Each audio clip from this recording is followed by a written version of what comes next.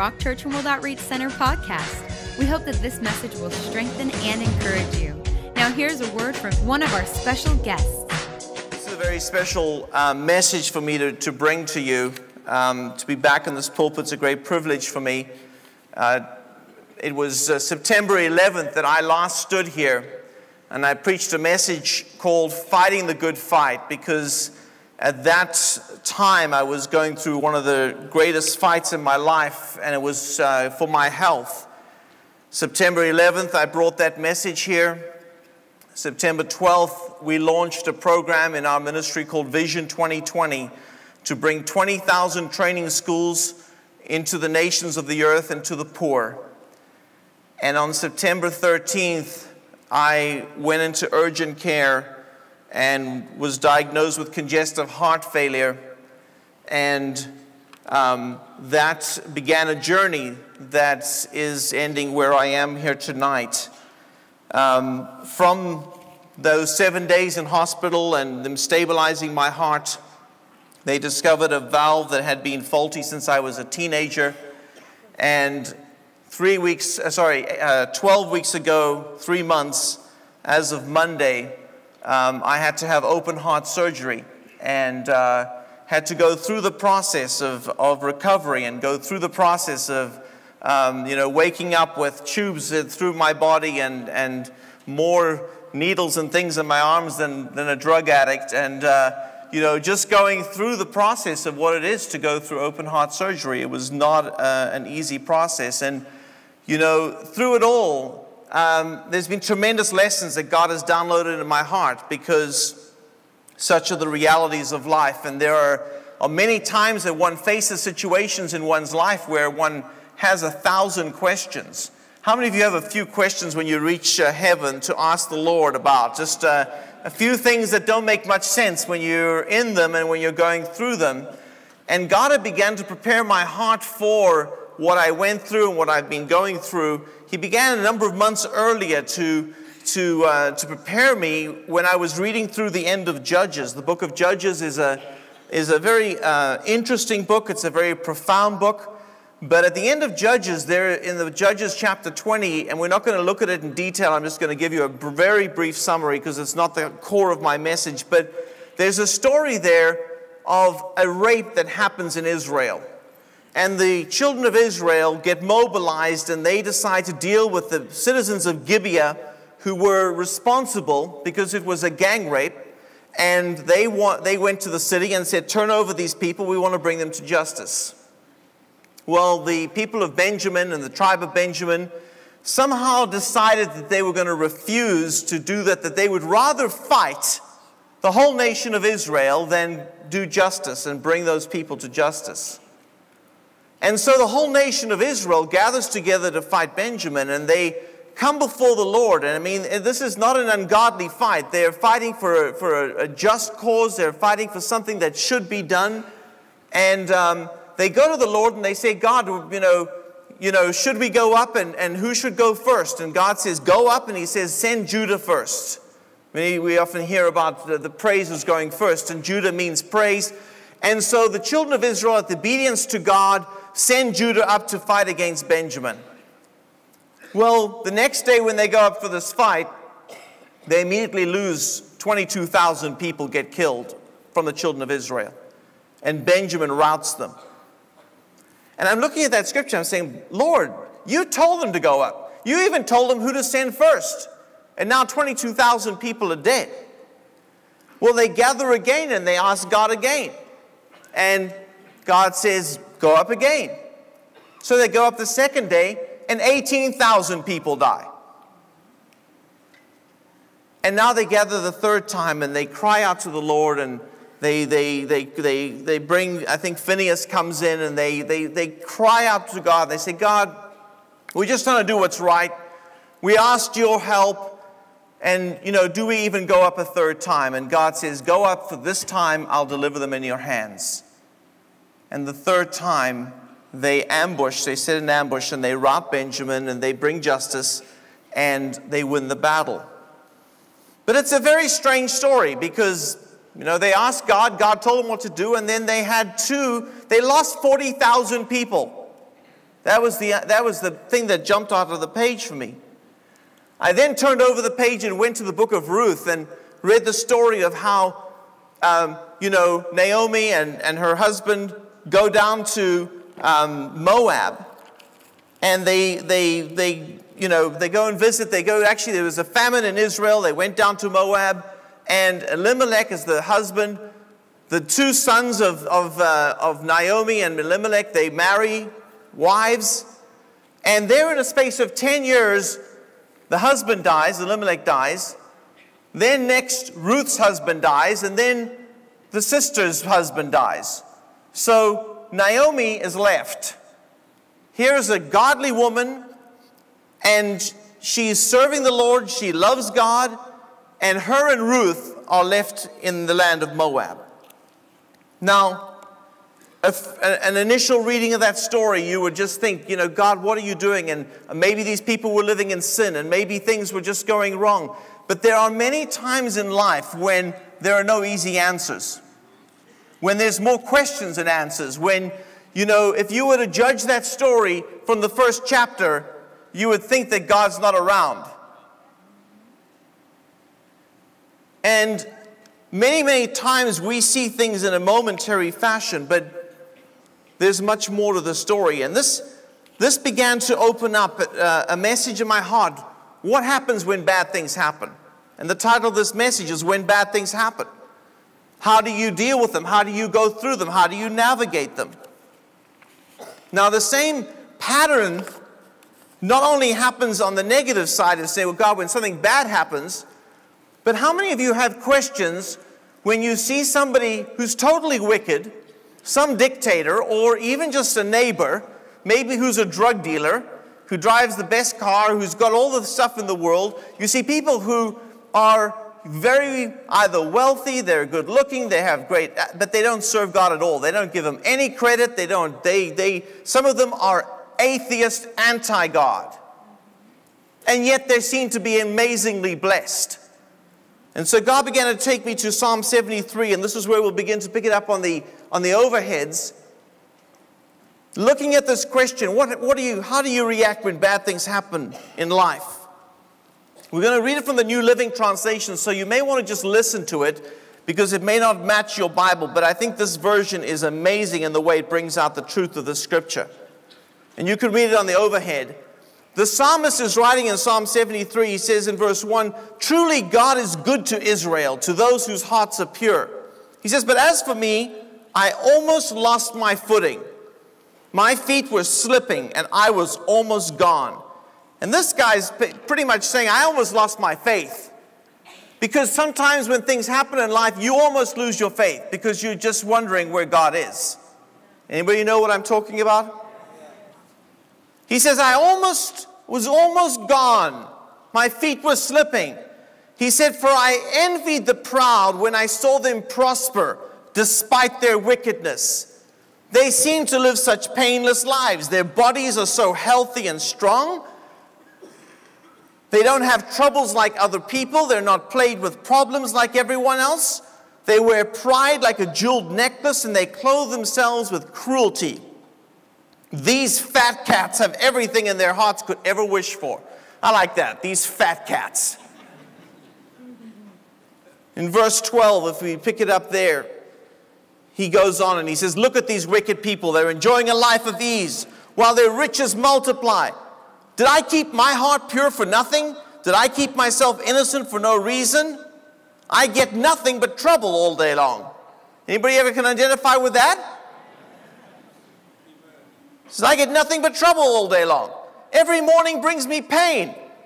If I had really spoken this way to others, I would have been a traitor to your people. He's speaking to God. And then in verse 16, we'll move over to the New King James Version because it says it to me in, in a more stronger way.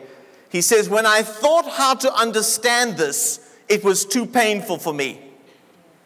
Isn't that a profound statement? He says, when I, when, I, when, I, when I try to understand this, he said it was just too painful for me. Because he knows that God's a just God and God's a good God, but he just can't reconcile what he's seeing in the lives of others with what he is going through. And then he says these words until. Everybody say until. until. It'll be too painful you, for you to understand until I went into the sanctuary of God. He says, Then I understood their end. Surely you set them in slippery places, you cast them down to destruction. Oh, how they are brought to desolation, as in a moment they are utterly consumed with terrors.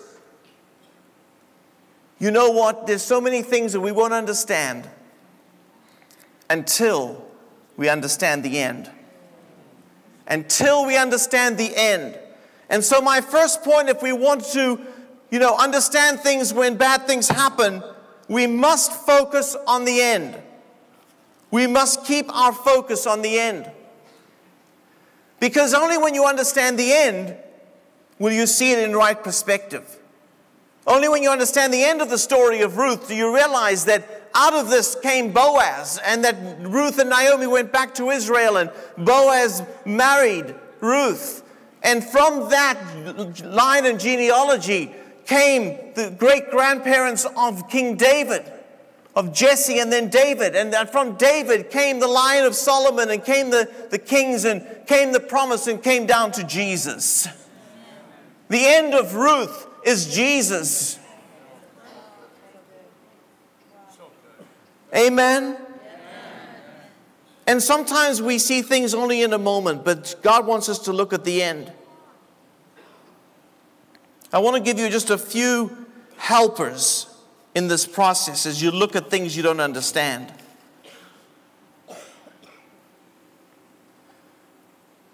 But let me just say this in concerning the end. You know, sometimes I, I love, I'd love to use the TiVo machine on, on, my, on my, you know, watching television. And especially it's a football game, you know, you TiVo the whole thing and, and uh, then you don't have to watch all the commercials. You know, you can come back and just fast forward through. But I, I don't like it when I've TiVoed a game and then I go up to somebody and say, oh, did you know, you know, the Giants beat the Packers this weekend? And I'm like, now you just ruined the game for me. Because now I know the end. So the only reason I watch the game now is to find out how the Giants beat the Packers, not whether they beat the Packers. It kind of ruins the game because, you know, if you know the end, it's not a question of how it turns out, it's a question of how it turns out. It's not a question of, you know, the details, it's just a question of how it actually transpired and happened. There was a story of Winston Churchill in the Second World War and Winston Churchill, they, they were fighting Hitler, and it was a, you know, it was a very, very dark uh, hour of the war. The United States was not yet in the war, and Winston Churchill was, was fighting the Battle of Britain, and uh, Hitler was taking over the nations of Poland and France, and, and it was just, just storming across Europe. And right after that, Pearl Harbor happened. And when Pearl Harbor happened, the United States made the decision to enter the war. And there's a story that happened that Winston Churchill, when he heard the news that the United States had joined the war, that he went to his liquor cabinet and he took out his finest cognac and he poured himself a rather generous glass and to all of those who were with him. And he toasted the end of the war. And they say, What, we, we, we haven't won the war yet. He says, It's only a matter of time now that the United States has joined the fight. You see, we know how it ends. We know how it ends. It's just a matter of time before we win the fight. And we will win the war because Jesus has already won the victory. Amen?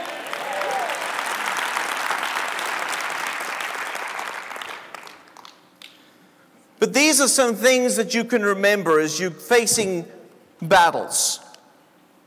And I'm going to throw up a few scriptures just to help you. You can just write down the verses and you can look them up later, but they'll come up on the screen as well. When you go through something you don't understand, you have to remember that man's ways are not God's ways. And just because we think God should do something this way does not mean that He has to do it that way. And the Bible says these words in Isaiah 55. God says these words to man. He says, My thoughts are not your thoughts, nor are your ways my ways, says the Lord. For as the heavens are higher than the earth, so are my ways higher than your ways, and my thoughts than your thoughts. So remember, God's ways are not our ways, even though we want them to be. Number two, you have to remember that God is weaving history. See, we just look at something that happens from, you know, the front page of the newspaper or just something that happens in our personal lives. But God is looking at a much bigger picture than you and I. He's looking at generational things. He's looking at the whole of history. And if you look at the life of Jesus, Jesus, when he was going to the cross, nobody understood anything. His disciples were like, No, Jesus, nobody's going to arrest you. You're not going to die on the cross. You're not going to go, you're not going to suffer. You're not going to, I mean, they were, Jesus had to rebuke them because Jesus knew what he had to go through. Are you with me? This is what Jesus actually says when they are, are, are, are asking him these questions. And he says these in Luke 22, verse 37. He says, For I say to you that, that this which is written must still be accomplished in me. And he was numbered with the transgressors. He's speaking about him being arrested and being a part of this group that was, um, you know, that was being put to death on the cross. And then he says, For the things concerning me have an end. That's a very interesting statement that he adds in there. He says, I've got to fulfill Scripture, but don't worry, there's going to be an end. The things concerning me have an end. The things concerning you have an end. The last chapter has not been written in your life, or your story, or your situation. The things concerning you have an end. And sometimes you're just fulfilling what has to you have to go through. I had to go through open heart surgery. I had a valve problem since I was a, a teenager. It was mended by God's grace by a marvelous surgeon, Dr. Razzouk, here at Loma Linda. And by God's grace, that he did an amazing job of, of performing that surgery. And through it all, I was able to lose 40 pounds. And through it all, my heart is stronger and better and, and more true today than it was maybe 10 years ago. Because the things concerning my life have an end. And if you had judged my life three months ago, you wouldn't have thought so. I thank God for all of those of you who prayed, and thank you for all of those who stood in the gap through that time because I know that it was the prayers of God's saints that did so much of the work. So these are the first two things. Uh, God's ways are not our ways. And the second thing, God is weaving history. The third thing is that we live in a fallen world. We live in a world that is, you know, is degrading. Everything around us, you buy a car and it just deteriorates. You buy a house and it deteriorates. Those of you who are over 50, you have a body that deteriorates. And just about everything in life, there's, this, there's even a law of thermodynamics, the second law of thermodynamics, which just talks about everything goes from order to disorder. And we're in a world that's a fallen world. It, it, it moves towards, you know, uh, every kind of uh, wrong that there can be. It's always trying to pull people down. It pulls people towards fear, towards failure. It pulls people down. This whole world, even gravity pulls us down. We have to realize we live in a fallen world, and so part of what we face in this world is because of the, of the sin of Adam and because of the, the fallen state of our world that we, through Christ, have to work to renew, and that we have to fight against that fallen world to bring the renewal of Christ and the life of God to bear. Number four, there's a huge spiritual battle going on. Don't ever underestimate the power of the devil. There is a real devil, there is real evil, there are real demons, and we are in a spiritual battle. For our families, for our finances, for our future, for our health, for our strength, for every part of our lives, you have to realize there is a spiritual battle going on. And this last area I want to touch on is the area of death. Because so many people are tripped up and that have a tremendous trouble getting over the loss of a loved one. And what God began to show me is that the way He looks at the loss of a loved one is often very different to the way we look, especially if the person knows Him and the person is saved. When, when a person is lost here, it's heaven's gain.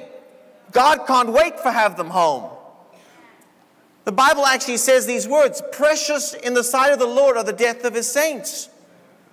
Jesus said to his disciples, He said, It's good that I go. They said, "You No way, no, Jesus, it can't be good that you go. Jesus said, If I go, the Holy Spirit will be sent. And so God sees death differently. And many of you have heard um, Cheryl Salem when she ministered here how she lost a five year old to a brain tumor, and we do have a DVD back there of her story. But what was the most profound thing in that entire teaching that she gives, and how God caught her up into the heavens, and she had a face to face encounter with Christ, and her heart was devastated over the loss of her little child. And she was in depression, and she wanted to die. She wanted to just say, God, take me home. I want to be with my daughter. And she was so pining over the loss of her child, her five year old to a brain tumor. And the words that Jesus spoke to her when she was questioning God up in heaven, this was when she was in an operation. She was about to go in for an operation and she had this experience. And the words Jesus said was, Gabriella, your daughter, is not in your past. She's in your future. The person you love is not in your past, they're in your future. They are ahead of you, they're waiting for you. And so the way that God looks at things is different to the way we look at things. And so we have to get a divine perspective of everything in our world. And that scripture, Psalm 116, verse 15 Precious in the sight of the Lord is the death of his saints. God says it's precious to him when a person goes home to be with him. And then Romans 8:28, we must learn the scripture. And this is one that, will, that you can hold on to in the middle of every crisis. And we know that all things, everybody say all things. all things. We know that all things work together for good to those who love God, to those who are the called according to his purpose. And whenever you go through things, you just know that God is going to work it all together for your good because you love God and you're called according to His purpose, and He will work it to your good. And sometimes in the, middle, in the moment you can't see it, but God will do it. So, all of that falls under us focusing on the end and understanding these principles are in play, understanding that they're all part of the picture, that it's a very complex picture, but realizing that there's more at work in this whole situation than just your personal feelings and what you're going through. There's a much bigger picture going on. And seeing that and understanding that will help you to navigate when bad things happen. But part two is we must learn endurance. We must learn endurance. And this word keeps coming up in the scriptures with very close ties to the subject of focusing on the end. You're going to see this again and again. We'll look at a few scriptures here. Who knows the story of Job? One of the most, you know, just difficult to understand stories in the entire Bible of a man who's righteous before God, who's living a good life, who's got tremendous wealth, who's doing great, who serves God, loves God, fears God, and then this battle happens between the devil and God, and Job loses everything. Loses his kids, loses his family, loses everyone except his wife. And then he loses his health, loses his possessions, loses everything. And then this tremendously difficult book. But at the very end, and the book of James talks about the story of Job. In the end, God restores everything. In fact, he not only restores everything, he restores it many fold over. And he has more wealth than he ever had before, and he has more children, and he, lives to see his great, great, great grandchildren. And James talks about this, and he refers to Job in James chapter 5, verse 11. He makes this statement about Job. He says, Indeed, we count them blessed who endure. Let's say that word. Let's, we count them blessed who? endure. endure. And then he says, You have heard of the perseverance of Job and seen the end. Everybody say, end. end. We count them blessed who endure, and we've seen the perseverance of Job and seen the end. Intended by the Lord, that the Lord is very compassionate and merciful. Isn't that a profound, profound understanding? We count them blessed to endure. And enduring to the end is so critical. Jesus says in Mark 13, verse 13, he makes a statement about the end times and about Christians and what we're going to have to face and go through. Or Christians are going through in persecuted countries, even right now while we're here tonight. We work in many of those countries. And Jesus says this about the end times, about us as Christians. And he says, And you will be hated by all for my name's sake. But he who endures to the end shall be saved. You have to endure to the end. And sometimes it is an endurance race. And sometimes it's not easy. And sometimes it's a tough battle. But those who endure to the end will be rewarded, they will be saved. Amen? Hebrews chapter 12, verse 1.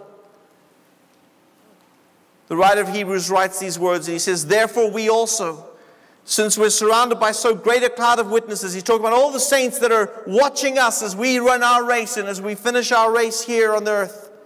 He said, Let us lay aside every weight and the sin which so easily ensnares us, and let us run with endurance the race that's set before us. What does it mean to endure?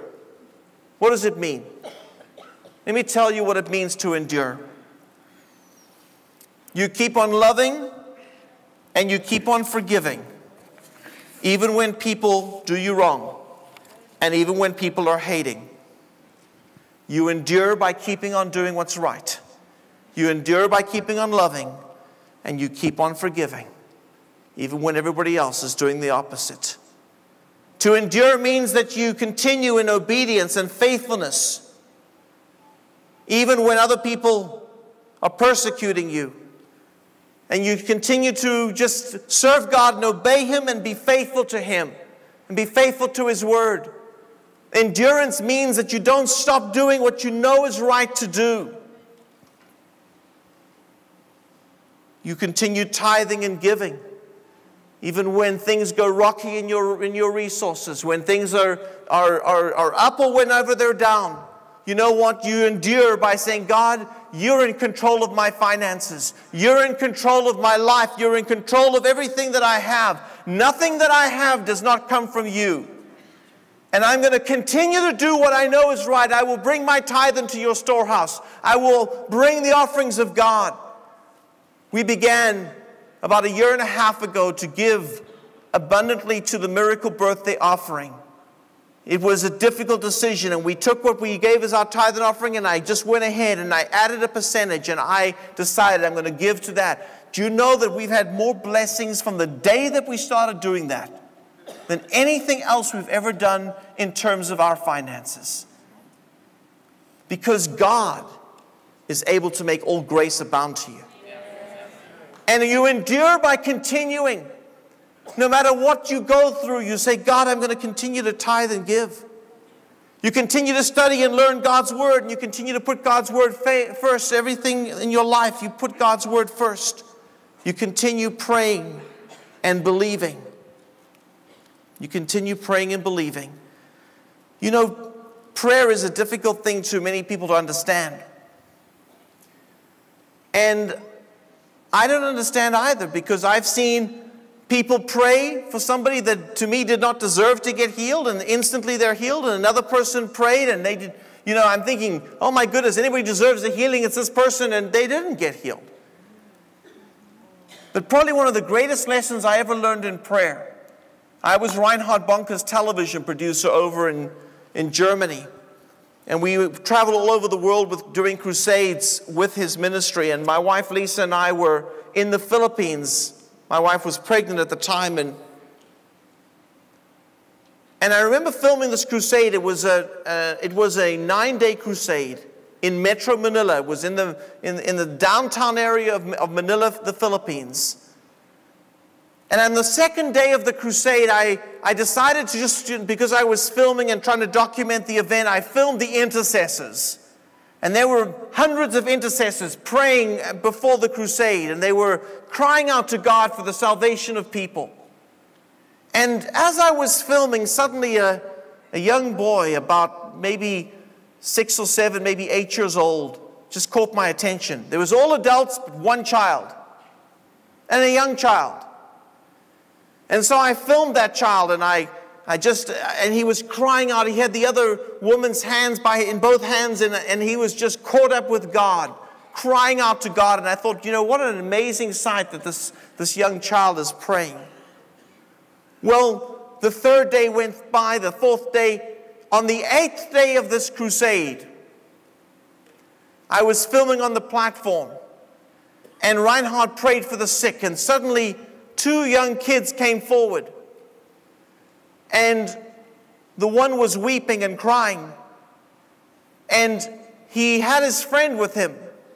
And there was probably a, maybe a, a, a five or six year old child that was with him, much shorter than him. And he had his arm around him and, and he said, My friend can hear. He'd been deaf and dumb since birth. And Reinhard tested this little child and and he could hear, you know, sounds 25 feet behind him. And the crowd went crazy. And as soon as this little boy realized his friend was healed, I mean, tears were streaming. I have this on video, just streaming down the child's face. And he grabbed his friend and hugged him, and just, and Lisa took them off and put their testimony and wrote it down. And, I, and it was one of the most touching miracles that I ever witnessed in my time with Reinhard. And I got back to the editing room back in Germany, and I was you know, I was editing the story and I looked at the this child on the eighth day and suddenly I recognized the t-shirt and I said, you know what, I've seen that shirt before. And I went back to my tapes from, you know, the second day. And that child was the one praying with the intercessor on day two. And I'm thinking, God, why didn't you heal him on day two? How about day three? How about day four? How about day five? How about day six? Why did you have to wait to day eight? But there's something about persistent prayer. There's somebody who endures in prayer. Somebody who doesn't give up and doesn't stop praying for their kids and doesn't stop praying for their, their family and stop praying for their business and stop praying for their home. We cannot stop. We must endure in prayer. Amen? And that child was completely healed. Last point is that we must remember that there's a reward. There's a reward. If we will continue, if we will not give up, if we will endure, there's an end. And the end is good. The end is good because the, the end intended by God is always good. The end intended by God for you is full of compassion and it's full of mercy. And the end is good, it's always good. We have, as we go back to Hebrews chapter 10, the writer of Hebrews says these words He says, For you have need of endurance, so that after you've done the will of God, you may receive the promise. You see, you've got to realize that you're not just doing it just so that you can do it. You don't just endure and you don't just keep your faith and you don't just keep going, oh, well, God, there's nothing better to do. You do it because there is a reward, there is a promise to you. there is something good at the end of this rainbow. And we will get to the end of the rainbow and we will find the pot of gold and it will be ours and we will enjoy it in Jesus' name. Amen. He says you have need of endurance so that after you've done the will of God, after you've endured, after you've continued to do the will of God, continue to do those things which you know are right, no matter if everybody's hating you, you're still loving. And all these areas that the enemy tries to say, well, stop doing that. You, well, God's not really there. And he throws the, you know, the kitchen sink at you. You just say, I will continue to do the will of God. I will continue to do what's right. Because we have need of endurance. After we've done the will of God, we may receive a promise. And the promise is good. James 1, verse 12 says, Blessed is the man who endures temptation. Again, the word endures. For when he has been approved, he will receive the crown of life which the Lord has promised to those who love him. You may have to go through a season of temptation. You may have to go through a season of trial. You may have to go through a season of conflict or of trouble.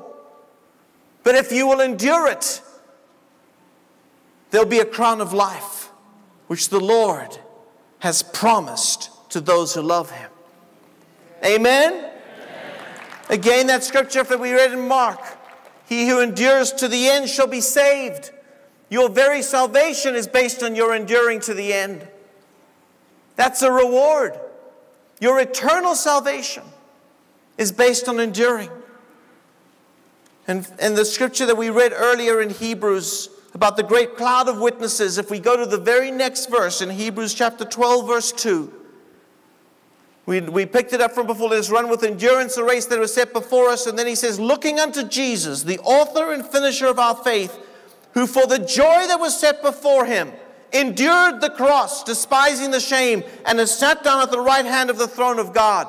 Do you realize that Jesus endured the cross and he despised the shame, hanging naked before the whole earth? He despised the shame because he had one reason that the Bible gives here for the joy that was set before him. There was a reward before him. His reward was you and I coming to this altar and giving our lives to Jesus. The reward of Jesus was our salvation. It was the joy that was set before him that enabled him to endure the cross. He wouldn't have made it otherwise unless he had seen your face on the other side and seeing you that he saw you having eternal life with him. And the Bible says he despised the shame and he endured the cross and he went through the suffering for one reason. It says, for the joy that was set before him. And now he sat down at the right hand of the throne of God so he can watch you come into his kingdom. One final scripture. You know, when you look at the Olympic athletes, people say, oh, why are you working so hard? People, these athletes, I mean, they, they, they from when they're small children, they, they are in this regimen of training. They're in this incredible, difficult season of, you know, of becoming the best in the world. And I've watched, you know, documentaries about these, these Olympic athletes, and what they go through is unbelievable. I mean, you look at the ones in China, I mean, they don't even have a life. They're actually put in these cities and these places and they live and breathe whatever sport they're, they're, they're preparing for. And what's so amazing about them is you, you know, if you went to an Olympic athlete, you say, why are you putting yourself through this? Why are you, you know, struggling so much? Why do you have this discipline regimen in your life? And why are you watching your food and everything in your entire life? And they'll say one thing to you I want a gold medal. They're after a prize.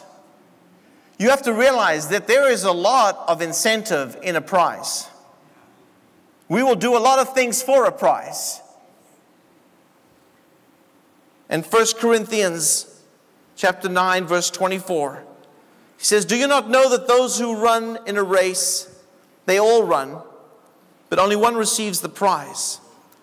Run in such a way that you may obtain this prize or obtain it And everyone who competes for the prize is temperate in all things. Now they do it to obtain a perishable crown, but we for an imperishable crown. You've got to realize that there is such a reward ahead for you.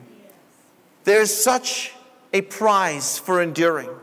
There is such amazing eternal treasures that God has promised. The promises of God to a believer who endures to the end are endless, they are eternal, they are beyond your imagination, they are enormous, and they are great. They're worth the price, and they're worth the price that we must, we must pay now. We're tempered in our, in our lifestyle. We're tempered in what we do. We watch what we do. We watch how we do things. We want to live a life that's pleasing to God. We want to endure the temptations and we want to endure the trials because there's, a, there's an end. The last chapter has not been written, and it's, when it's written, it's going to be good. And your story is going to read as a testimony to the goodness of God. No matter if you feel like Job right now, we've heard the end intended by the Lord, that God is very merciful and God is very good. And God is, is got a great ending for your story in Jesus' name. Amen?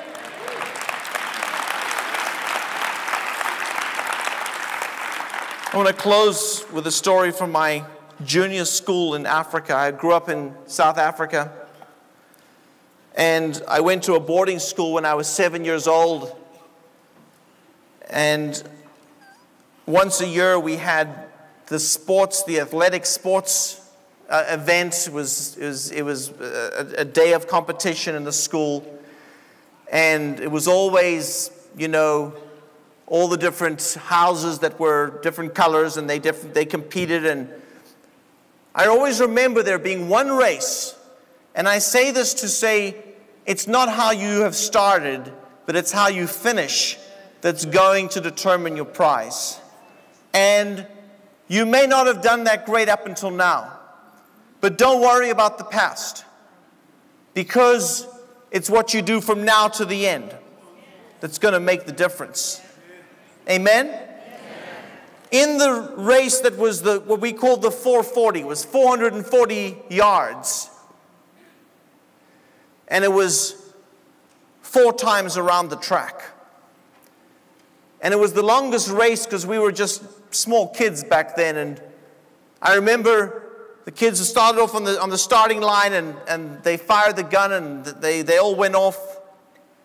And everybody sprinted up ahead and they were going like crazy around the track except for one guy. His name was Fat Mac. I won't give his full name because he may even hear this message one day. I just called him Rodney. And Rodney started off with a trudge. And literally, he trudged around that, that, that track.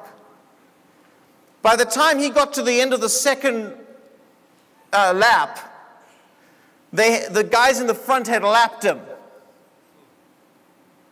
And by the time he finished the third track, everybody else in the entire field had finished the race.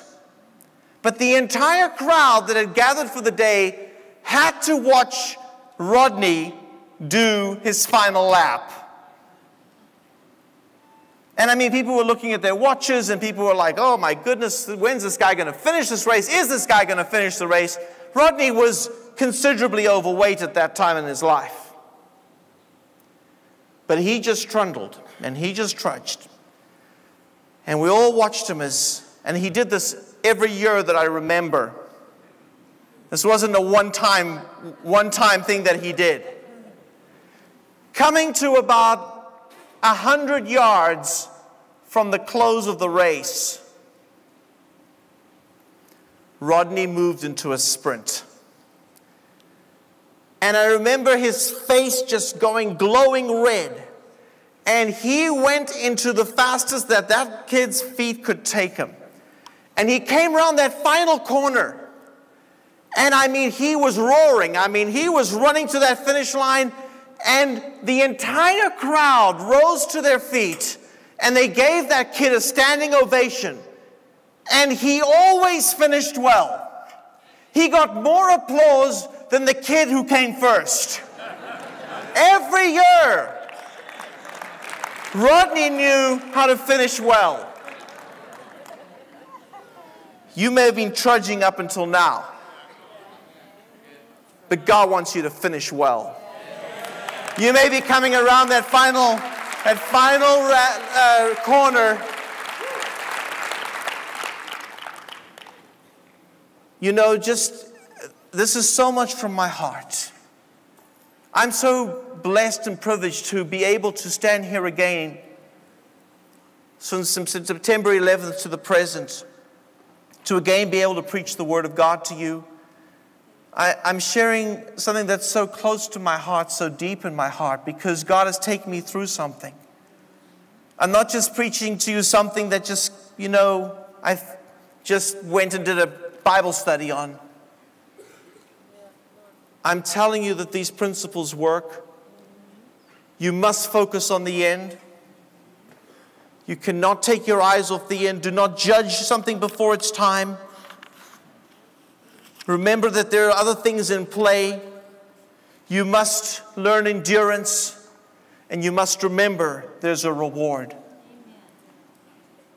If God spoke to you tonight, just give the Lord a hand. Amen.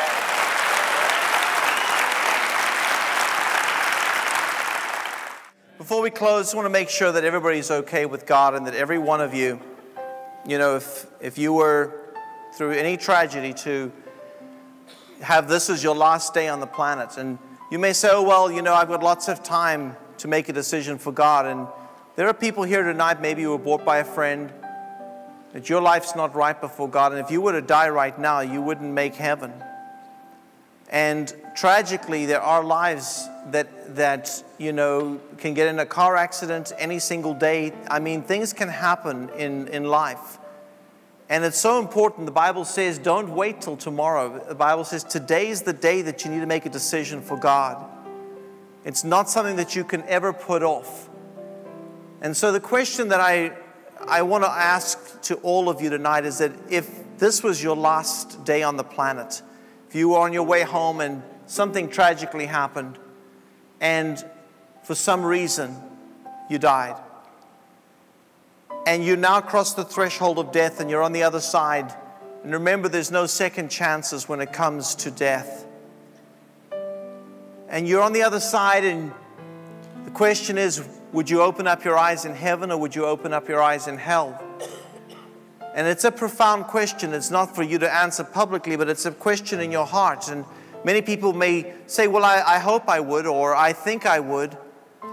And the trouble is that there's nowhere in the scriptures does the Bible say that you can think just because you think you're going to make heaven that you'll make it or that you hope. So a lot of people hope they'll make heaven and they've opened up their eyes in hell. I want to know where I'm going to open up my eyes. I want to know for sure. And so we have to look at what the Bible says about this topic. Some people say, well, you know, I'm a good person. I've done more good things than bad. I'm sure God's going to put on a scale. And I'm pretty sure my scale on the good side is going to be better than the bad. The Bible says it only takes one sin to put you in hell. That's why Jesus had to die. Jesus actually had to pay the price that you would have had to pay for your sins. He had to actually go to hell for you, He had to die for you. Because just one sin's enough to put you in hell. And so, just because you say I'm a good person, person's I'm, I'm good, it, it, that's there's nowhere in the Bible that says being good is the only person ever good enough to make heaven was Jesus. And all of us, the Bible says, have sinned at least once, and some of us once an hour. Some of us more than that. So being good is not going to get you to heaven. And there are many thoughts that we have. You know, maybe you grew up in the church, or maybe you went to catechism classes or Sunday school classes, or maybe you, you know, your parents put religious jewelry around. I used to have this cross around my neck, and, you know, I used to think this thing has, you know, I was being a witness for God, and, you know, it was somehow protective in my life. And my mother used to always have a St. Christopher in the car, and, you know, all of those things, as much as you, as you, uh, have participated in those things and have had those things in your life, not one of them will get you to heaven. And the, you'd think that God, having sent his son Jesus, would tell mankind what it takes. What it takes for a person to make heaven. It's not just a, it's not something that's so complicated that we can never figure it out. And we have many ideas in our thoughts in our mind as to how we will make heaven, but there is only one way. Jesus says, I am the way, the truth, and the life. And no one comes to the Father except by me. He is the only way that one can make heaven.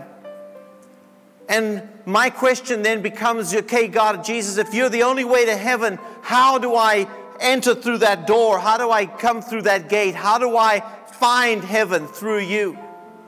And this was the question that a very godly man in the scriptures asked Jesus. He came to Jesus by night because this man was a leader in the synagogue. He was a religious leader. He was somebody who knew the scriptures. He, he sang them, he knew them, he understood them, he quoted them. And he had one, one question for Jesus. He wanted to ask it in secret because he was scared of what other people might say. And he came to Jesus and said, Good teacher. He said, what must I do to in- inherit eternal life? What must I do to get saved? What must I do to have an eternity of life after this death? And Jesus, you would have thought, would have said, Oh, his name was Nicodemus. Nicodemus, you're an amazing guy. You, you know, you're a leader in the synagogue. You give alms. You, you help the poor. You, you memorize. You preach the Bible every week. Heavens just can't wait to have you. Jesus didn't say that to Nicodemus. He said, Nicodemus, there's only one way. You must be born again. And that's a word that's been so sullied and destroyed by Hollywood and by other people have criticized it and cut it down. But remember, the one who said you must be born again was not anybody in the media. It was Jesus Christ who said those words. And Nicodemus was confused, like many people today. He's like, Well, how do I do that? Do I go back in my mother's womb and get reborn? How does that happen? And then Jesus makes the statement. He says, I'm on my way, Nicodemus, to a cross. He says, I'm going to be lifted up from the earth. I'm going to hang between heaven and earth. And he says, All the sin of the world was going to be placed upon me. He says, For God loved this world so much, he gave his only Son, that whoever believes in him will not perish but have eternal life. He says, And when I'm hanging on that cross, he said, If you will put your faith and believe that I am the substitute for your sins, and you will give all of your heart and all of your life to me, and you will embrace a faith and you will give your life into my hands, you will be saved. And that's the same challenge that faces us today. Will we believe in Jesus Christ? Will we accept Him and fully give all of our heart and all of our life to Him? You've heard a wonderful message tonight, and many of you have, have I know, have gotten something from it. But it would be a shame if you were to leave tonight and that you had not become born again, that you had not for sure given your heart to Jesus Christ, you had not fully embraced what Jesus did for you on the cross. You see, He had to suffer, He had to go through that. He had a joy set before him, but he first of all had to pay for your sins. And the way that you are forgiven of your sins, when you put faith that he paid the price, you no longer have to pay the price. When you stand before God, God's going to say, You're guilty of these things. And you say, God, I know I'm guilty, but you know, I put my faith that once upon a cross, your son paid the price, so I no longer have to pay them. And when you embrace a faith in Jesus, your sins are washed by his blood. And you stand clean before God. Not because you're any good, not because you're good enough, but because Jesus was good enough. And he gave his heart and his life for you and for the joy set before him of seeing you accept and embrace a faith in him. That's why he did it. That's why he loves you. And I want to give everybody here tonight a chance to accept Him as their Savior and their Lord. You may have never fully understood why Jesus died for you. You may have never fully understood what it meant to become a Christian. But tonight, God is speaking to you and He's calling you and saying, Tonight's your night. Tonight's your night to give your heart to Jesus. Tonight's your night to, to be saved. I'm going to, in a moment, just count to three. And I'm going to pop my hands together like this, and I'm going to say, at that moment when I put my hands together, it gives you an opportunity. If tonight you want to make Jesus Christ Lord of your life, when I put my hands together like that, I want you just to raise up your hand, all of us together who want to give their lives to Jesus. And by the raising of the, your hand, you're saying, God, I don't just want Jesus in my head. I don't want just to know about him. I don't just want to celebrate Christmas and Easter. Tonight, I want to embrace a faith in Jesus. I want to give him all of my heart and all of my life. Tonight, I want to make sure that I'm born again. Who should raise their hands if you have been running from God instead of to him? I'm speaking to you. If you're not sure that you've ever given your life to him, I'm speaking to you. If you once maybe made a decision, but you've backslidden and you're no longer, and you're not walking with God, but you want to come back to Him, I'm speaking to you. You should raise your hand. Any person who really wants to make that decision, it may be your first time that a friend brought you, and something in your heart saying, I need this Jesus. I know He loves me and I know He cares. Tonight I want to make Him Lord. I'm speaking to you. So get ready all around across this auditorium. We're all going to do it together. And by the raising of your hand, Jesus said these words He says, If you are willing to confess me before men, one day in heaven I will confess you before the Father. By raising up your hand, you're saying, Jesus, I'm not ashamed of you. I'm willing to confess you. I want you as my Lord and Savior. One day, when you stand before God in the, in the, in the throne room of heaven, Jesus is going to stand up and say, That person on that night raised their hand and they accepted me and they publicly gave their heart and their life to me. And he'll stand before the Father and say, That person's mine. They confessed me before men, and now I will confess them before the Father. Jesus will confess you publicly before all the angels of heaven and before the Father if you're willing to confess him here. So if you need to make that decision, please don't wait till tomorrow. Don't put it off. Are you ready? One, two, three. Let me see your hands. If you need to make that decision, just raise your hand wherever you are. Just raise up your hands. I see a hand over here. Who else wants to raise their hand tonight? And you need to make Jesus Lord of your life. I need to probably put some glasses on here. Let's all stand in the presence of God. If you need to make that decision, just raise up your hand wherever you are. But I want you just to step out of your seat, I want you just to come down and meet me here in front. If you tonight need to make Jesus Lord of your life, I'd like to personally pray for you up front. And those of you watching online, I'm going to pray for you. Uh, we're all going to pray together and you're going to accept Jesus. So let's give them a hand. If you need to give Jesus all of your heart and all of your life, step into the aisle, come down and meet me here up front. Just go ahead and step out. Come forward. Tonight's your night. Do not wait till tomorrow. Give Jesus your heart tonight. Come forward. That I take, every moment I'm away. Lord, have your way. My heart's breaking. There are a number of people here tonight, and this may be your last chance that you ever have to accept Jesus. You've heard the word of the Lord tonight. Jesus loves you so much. Maybe some of you may feel shy. Tonight's your night to give your heart to Him. Please don't turn Him away, don't reject Him. He loves you. He wants to forgive your sins. He wants to change your heart. He wants to change your life. He wants to make everything new in your life. Let's just sing that one more time. If that you need to come, just step into the aisles. Please come tonight and give your heart to Jesus. Please don't put it off. If that's you, just step into the aisles and come down. Let's sing that one more time. Lord, I give you my heart. I give you my soul and I'll live for you alone. Every breath that I take, every moment Come I'm forward. awake. God bless you. God loves you. He loves you. He loves you. He loves you. Respond to Him tonight. Lord, I give He you loves my you. heart.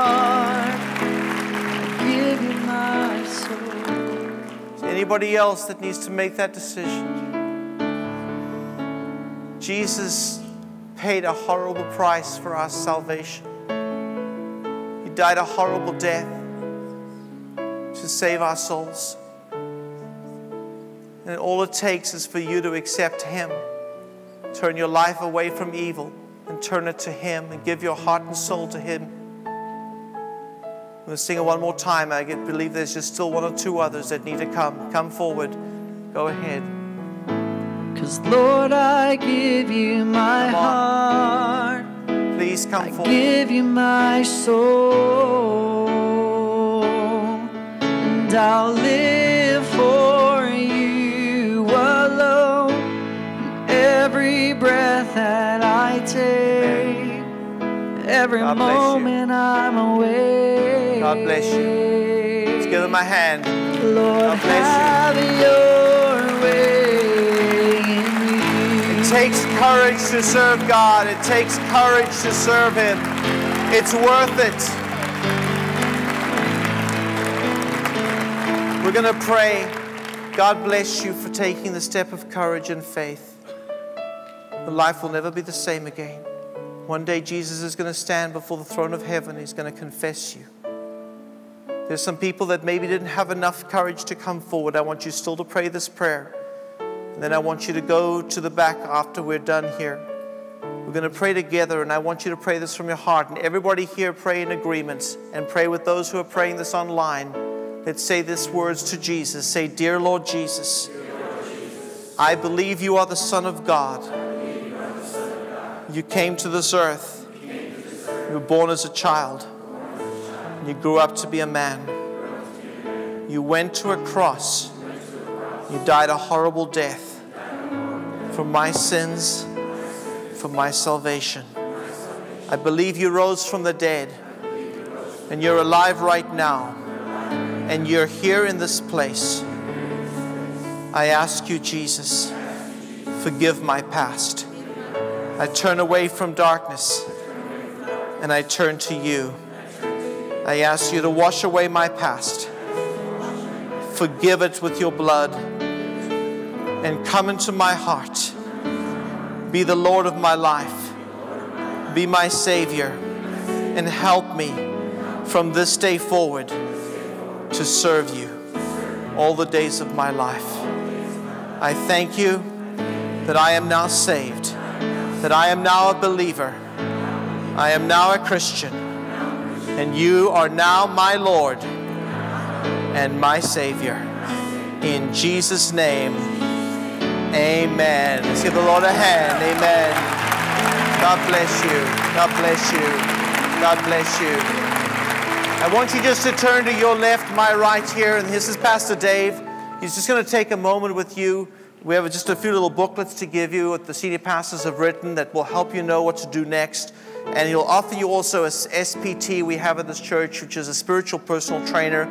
For five weeks, somebody who'll meet with you but right before church and just give you some help. We'll be pray for you and be able to just take you through some guiding steps in your, as you start your walk with God. So if you can take a left turn, follow Pastor David. Give them a hand as they go.